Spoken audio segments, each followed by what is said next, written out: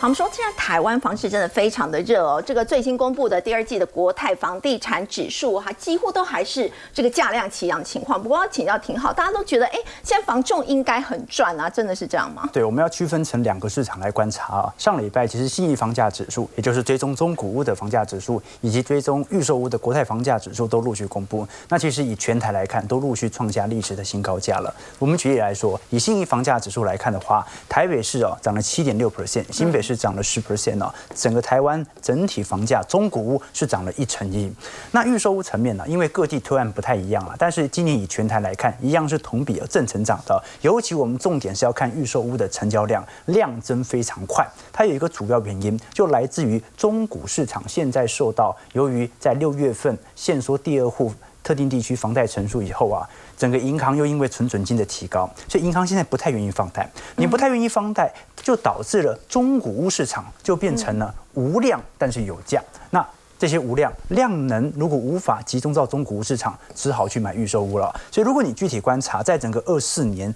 今年上半年左右哦，我们看到台北市成交量是成长了六成，桃园增长了五成二，新竹市增长了五成六，总计高雄来看成长最快，成长了接近有一倍，也就代表着大量的中古买盘往预售买盘来做前进。所以呢，如果你以你是以三十天的销售率来做观察，现在销售最好的大部分都集中在台南和高雄，尤其你看今年二季度啊这一根台南台南哦，台南现在建案非常热销，你看到那种排队的新闻，基本上八成就是台南的。部分哦，那它也形成了一种迹象，那就是呢，中古市场呢是有价无量，而预售市场是有价有量，它就导致哦，我们看到在中古屋市场当中啊，受惠最多的房仲反而并没有分食到本轮房价的上涨，因为房仲卖的都是中古屋嘛。没错，我们如果是以二手市场的尾尾售比来做观察的话，当时哦最高曾经来到十二 percent，现在剩下七个 percent，哎，怎么突然没有人委托房仲来卖房子了呢？对，因为很简单嘛。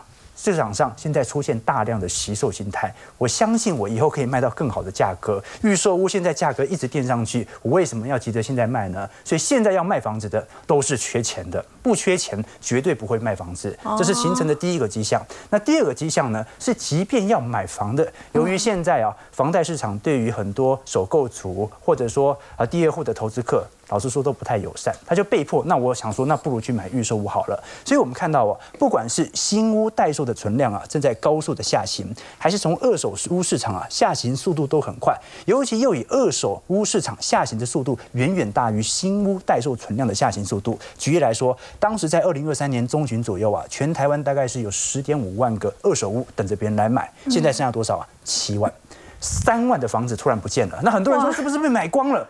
其实成交量没有放的这么大，主要还是什么原因呢？因为房子都收回去不卖了，它就导致了两个现象，那就是第一，代销业者因建股啊。赚得盆满钵满，所以建商跟代销业者都有赚到，但是房仲，但是房仲由于成交量的缩窄，我们看到哦，如果是以信义房屋月营收表来做一些观察，你会发现有趣的迹象。我们都很清楚啊，信义在专任是相当有名的啦。那以前常常讲讲说卖房要找信义，为什么？他帮你守护好价格。可是你看到从今年元月份以来啊，如果是以累积的营业收入来看哦，今年基本都是年减的。你看去年下半年新青安刚上路的时候，还有很多人要买新城屋啊，还有人。很多人要买中古屋啊，因为可以立即生贷。但今年以来这个状况就变了。对，所以虽然房价在上涨，可是房仲赚不到钱。那房价上涨，这些机会才都被谁赚走了呢？代销业者现在获利创了历史新高，是银建业者创下历史新高。